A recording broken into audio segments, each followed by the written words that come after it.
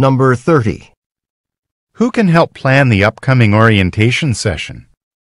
A. That was helpful. B. A dozen invitations. C. You should ask David.